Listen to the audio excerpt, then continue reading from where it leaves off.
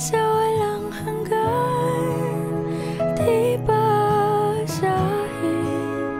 di ka sasaktan?